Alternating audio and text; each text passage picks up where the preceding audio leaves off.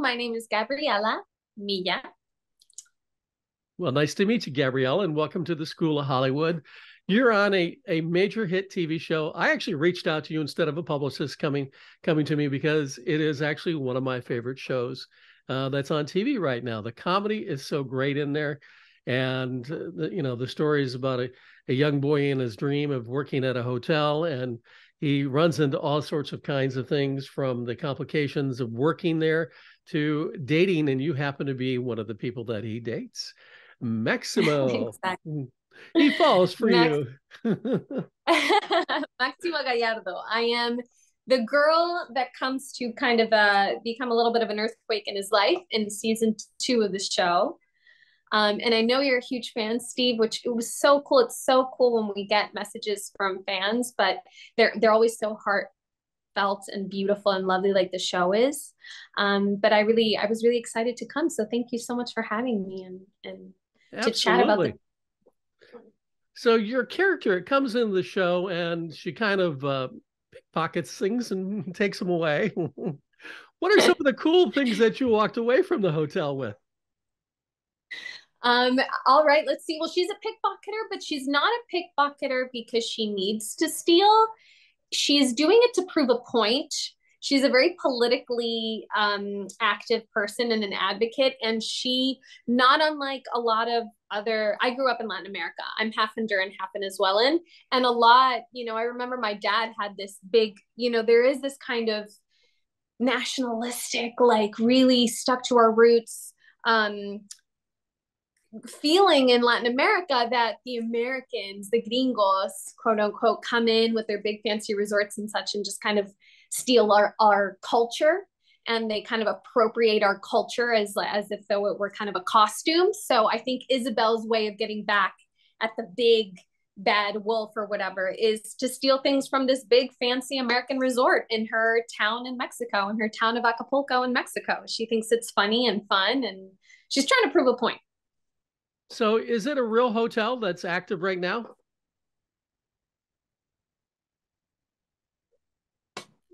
I'm sorry.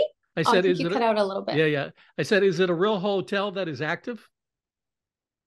You know, it is. We shoot at a real hotel, um, which is really cool because they painted the entire thing pink. It's actually a pretty big, it's a huge resort as well. And when we're shooting, it's not active. No one's actually staying there. But on our hi- on our hiatus, it is functioning. But when we're shooting, it's just the cast and crew that stays there. So it's a lot of fun. Oh, very, very cool. You get to run of the place. Um, oh, yeah. So tell me about uh, you auditioning for for the series. Did you have to test for it, uh, or did they just give it to you, or? they just called me. Were like, "Hey, do you want to play Isabel?" No, I'm kidding. Um, you know, the audition process of it was such a beautiful experience because I had actually quit acting and had left acting for for a while. I I funnily enough decided to quit or to take a break from acting uh, right before the pandemic hit. Uh, at the end of 2019 around like november 2019 i was i was pretty burnt out with the process with the auditioning process. I felt like it wasn't a very healthy relationship that i had with auditioning or with my career anymore. So i uh, after after a lot of thinking and kind of like almost against my own will but knowing it was the best for me i took a step back. And i blinked and two years had gone by. And within the two years i wasn't really actively auditioning theatrically but i was creating my own content Acapulco, as you know, is a bilingual show. We speak both, we're very fluid between English and Spanish on the show. And that's the content that I was creating during the break, funnily enough, because I'm a big bi- believer in bilingual content. It's how my brain works, it's how I know a lot of my friends' brains work. So I created a bilingual podcast and I was really creatively fulfilled, but I wasn't really auditioning for any TV or film. And then the I was living in Miami. I lived in Miami during the pandemic and having a blast. And finally, in a, a, year ago, in January 2022, I decided, all right, I think it's time to move back to LA. Um, not come back to acting, but just move back to LA and kind of get my roots back in. And that's when this audition literally just fell on my lap.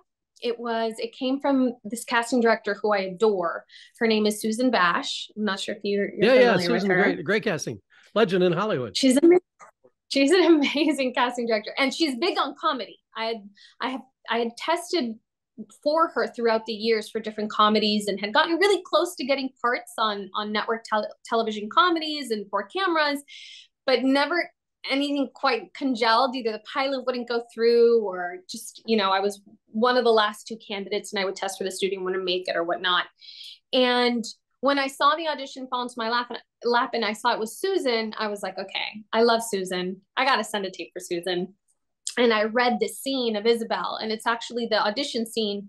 The first scene of the audition scene was the first scene that she has on the show, where she's stealing pens. Um, and Maximo Gallardo, the, our, our leading man, uh, catches her stealing pens from the hotel.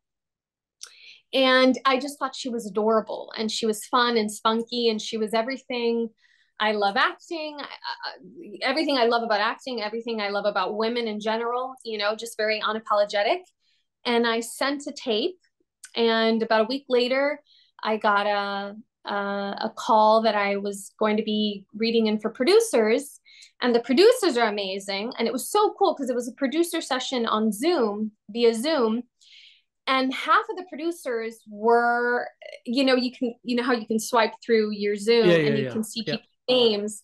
And it was so cool because 50% uh, of the producers were Hispanic names. And that's like, you know, I've been, I've been auditioning in, in Hollywood for a while now. You really don't get 50% of, of a producer session all being Hispanic names. And that was really, really exciting uh, to me.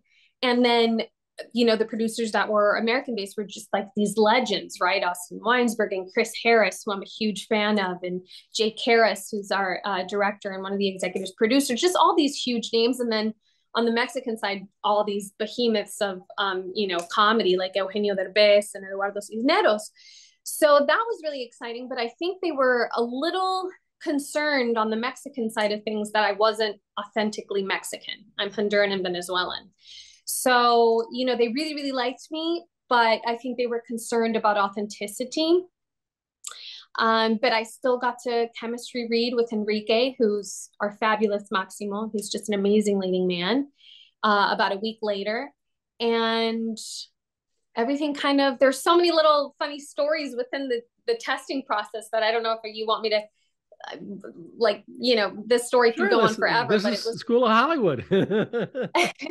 School of Hollywood. Yeah. Well, my manager calls me to tell me, listen, the producers love you, but they're concerned you're not Mexican. They're really concerned that, you know, authentic, they want someone authentically Mexican.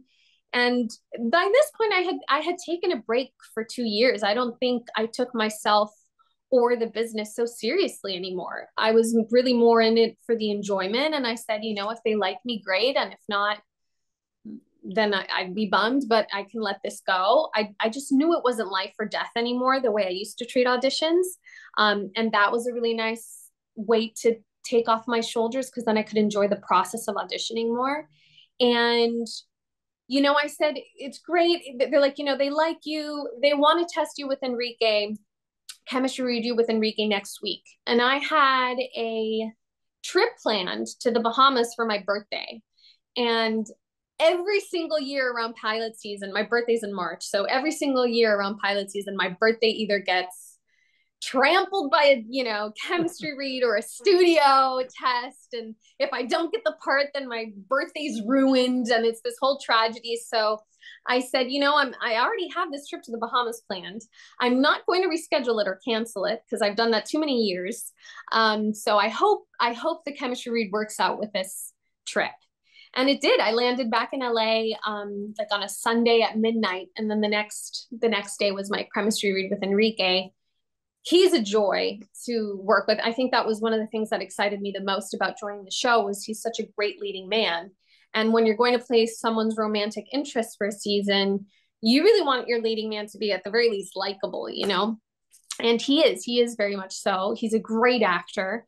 And the chemistry read was great but i had landed so late the night before that there was a new second scene that they had sent me that i hadn't seen. Um but i think i was just the adrenaline was pumping so strong. And when they told me are you ready for the second scene? and i realized I didn't, I hadn't rehearsed or studied the second scene. I wasn't off book.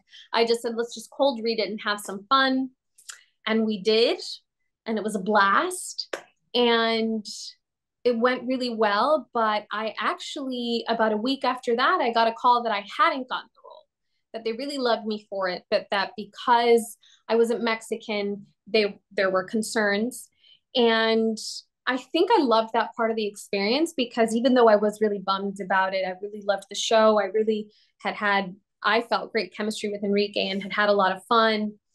Um, I kind of was just like, you know, I'll let it go. I also understand because if you want to protect someone's culture, like I understand what that feels like, but also with the frustration of, you know, I'm half Honduran, half Venezuelan.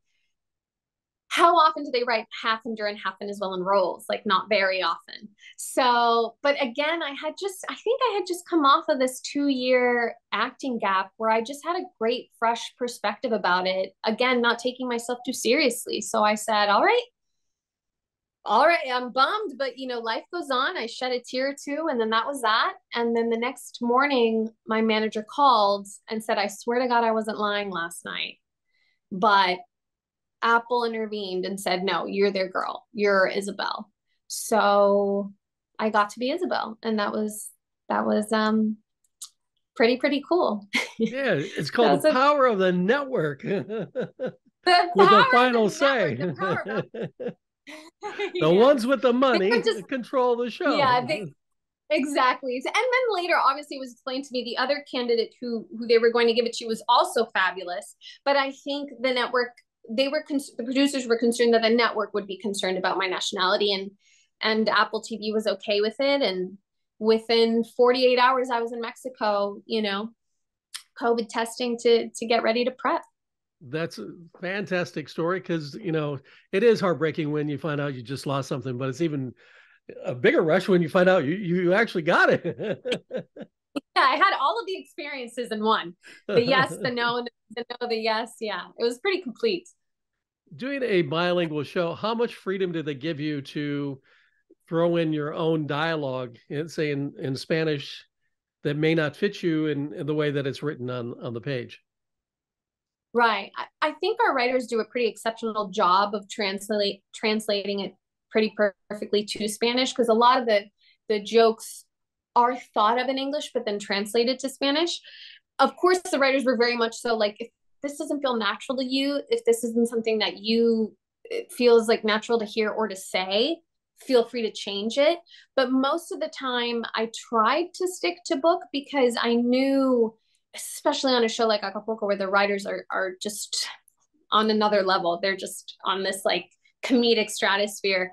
You know that every single word, especially coming from the character of Isabel, is very well thought out. Mm-hmm. So I remember once I had changed a line. I didn't even particularly want to change it, but one of my co-stars was like, "Nah, change it. It sounds kind of weird." And I remember them coming to set and being like, "No, it has to be in this order." It, I was saying the same words, but in a different order and they said no it has to be in the same order because then it connects to this scene that's like you know two episodes down. So i really tried to to respect um, what the writers had on the page because it was so well thought. Acapulco is falling in the footsteps of, of shows like uh, the grand hotel uh, devious maids um, uh, baker and the beauty with the bilingual. Um, do you mm-hmm. see that happening more and more in television uh, in the United States. Uh, what's your what's your thoughts on it? And you're talking about you're producing your own stuff as well. That's bilingual.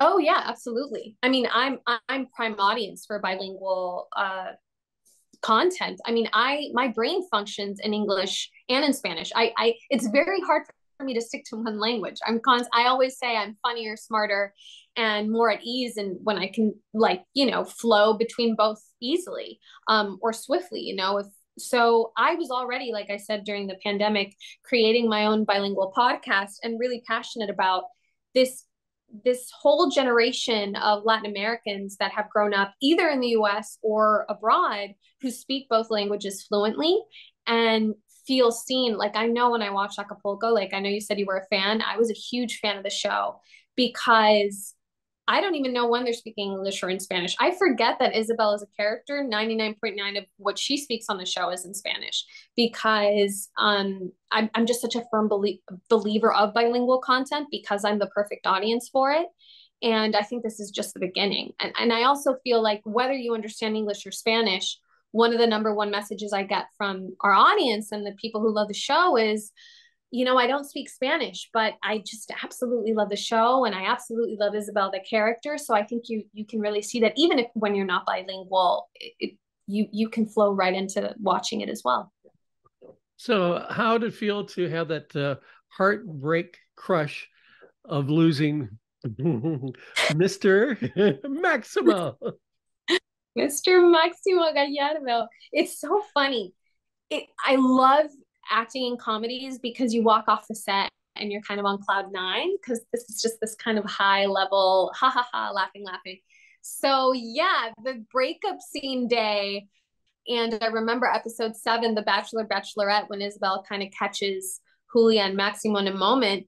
Oh, that hits to heart, even even to my heart, even to Gabby's heart, because you know, especially because Isabel is such a beautiful character and so open and kind of uh, lovey-dovey. And even though she's this feisty character, and then Maximo is such a great leading man, such a sweet romantic guy. Oh my gosh, it was so heartbreaking for me because it is this kind of love triangle where our, all the characters are really just doing the best that they can with with with the tools that they have so yeah that that was not like the most fun day but i gotta say it's it's funny because episode nine which spoiler for anyone who hasn't seen the show um which is where kind of isabel stands her ground and there's a breakup is my favorite episode or at least one of my favorites of the of the season because first first of all just being directed in that breakup scene was so masterful. Like i was directed by jake harris and chris harris and just like the adjustments they would give of like it's a breakup and it's very heartfelt but you're also in a com- comedic world. And so that to me was just a blast. So even though as a character you know isabel i was bummed um it was so it was such a beautiful breakup scene. I loved i loved how written how well written it was well, yeah. I think Acapulco was kind of moved to Los Angeles. Looking at your Instagram, you mm. hang out with the cast of, of Acapulco here in LA. We, we, do, we do. We really. It's funny. We all say it in, in, interviews. We must sound like broken records, but all of us remember we're living. It's a Las Colinas behind the scenes of Las Colinas is Las Colinas. We all are living in the same hotel. We hang out breakfast, lunch, and dinner, all the cast together. So we all became really, really close we all have seen each other out here in LA. Enrique and I are obviously very close, and and we've ever all the those relationships that you see on screen have definitely uh, translated to off screen friendships and relationships for sure. So, what's been the hardest yeah. thing for you to adjust as far as in acting your acting career? Um, is it coming from Miami to LA, or or try, you know getting an agent, um, or Zooms, doing auditions on Zooms? You know, I've actually really liked, even though it, it's a little bit uh, counterintuitive, I really like the Zoom and the self tape world. I, I, I haven't, I like it. Maybe it's the control freak in me that I can, I'm like in my space and I can set my lighting and I can have my script where I want it and etc. And I can be off book or whatnot. I, I've really kind of rolled with the punches. How how recent? I think it's what the business was already gearing towards. I remember before the pandemic, I was doing a ton of self tapes, maybe not as much as now, but it really was, it seemed to be that that was going to be our future anyway. Um, I think when it comes to the hardest thing about acting, I think is the thing that I appreciate the most about acting, which is it really is a character builder. Um, you hear no many more times than you'll ever hear yes. Uh, you, you know, it's it's really one of those things where it it calls you up to the plate. It it asks you to step up you know it you either grow from the rejection or you kind of melt by it. You know what i mean? Like it's just such a character building mm-hmm. career that whether you stick to it or not it's really going to form you and mold you as a person. And so i think a lot of the rejection I, I can't even say it's like the hardest part about acting because even though it is it's also like the best part about acting because like through that pain you become a better person like a stronger person or you suck you know or you're one of those actors who just really jaded you know and hate the industry and you're like everybody sucks. But for me i really can say that acting as a career really really built my my character. Fantastic. What advice do you have for young uh, latin actors? Oh, um i guess advice would be to create create, create, create. You know, there, there's so many of us that are like, well, you know, like me, I could say like, I don't see any Honduran Venezuelans on screen. And it's like, so then be that Honduran Venezuelan that puts herself on screen, you know, write your own content. If you don't want to write, okay, that's cool. But everybody has a talent. And if you have that, you obviously have that urge to show the world your talent. Otherwise, you wouldn't want to be an actor. So then do it yourself, produce it yourself. We all have iPhones. We all have equipment that we can use. I know that I've never been more creatively fulfilled in my life. Um, more. I mean, Acapulco was pretty damn creatively fulfilling. I'm not gonna lie. So that so I'll but let's put Acapulco here. But I was just as creatively fulfilled when I was taking a break from acting, but creating my own content, shooting my own comedy sketches, um, doing my you know bilingual podcast. I just I believe that stop waiting and asking for permission to be seen. Um, just be seen, you know. And Latinos, a lot of us have a lot to say, and our comedy especially is hilarious. So put yourself on screen. Don't wait for someone to give you the opportunity. Give it to yourself. You know, put Fantastic yourself on the internet. Advice. Great advice, sir. Yeah. Uh, where where can people find you in social media? Well, definitely on Instagram. I'm under my name. I used to be under like a pseudonym, which I missed, which meant little bean, Gavita Frijolita. But I was like, you know what? So they can find me. Let's let's put my my my Insta handle, Gabriela Milla. And there you will find a link to my YouTube where you can find my sketches and my podcast. And I also have a bilingual podcast that I'm re upping some of the episodes this year called Thank You X.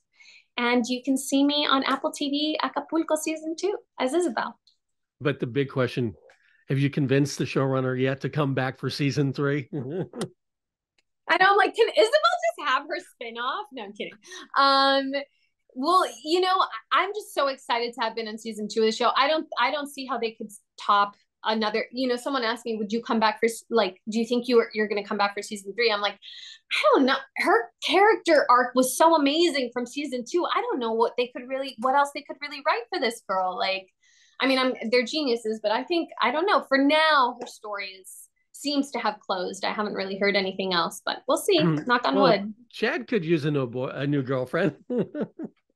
You know, it's so funny. Chord and I used to talk like uh, about that stuff off screen. He'd be like, "Well, you know, maybe Chad can like, you know, have some revenge against Julia and Maximo, with, you know, with with Isabel," and we would joke about it. But um, you know the, the writers are so fantastic as long as it serves the story of course i'd be happy to come back but i i remember when they were telling us the arc of of our characters and what it was going to go how it was going to go down in season two at the beginning of the season and they were like but we don't know where you know isabel's story ends. Maybe it does maybe it doesn't. I was like you guys ladies and gentlemen, you've given me a beautiful season. Like characters like Isabel come once in a million, you know? So just the fact that I got nine episodes um, is is just such more than enough of a gift for me. So so I'm happy no matter where this goes. You know. Just remember the final note here is the audience controls the network, and you do great PR. Thank you so much. Yes, hopefully the audience. If I come back because the audience asked for Isabel, that would be that would be pretty epic. That would be it, it happened for Baker and the Beauty. That's how come Netflix picked it up. So there's no reason why you can't do it. Right, right. Yeah. Well, and that's the cool thing is now with Isabel, the bar has been set so high. Like it's it's Isabel or something even better. You know, Isabel or if it could be even better because Isabel is great, but or or just an either another character just as special or or creating my own content, you know, continue doing that. Well, I look forward to seeing more stuff on you and and thank you for being on the School of Hollywood. Thank you, Steve. It was a pleasure. I'm so happy you had me on.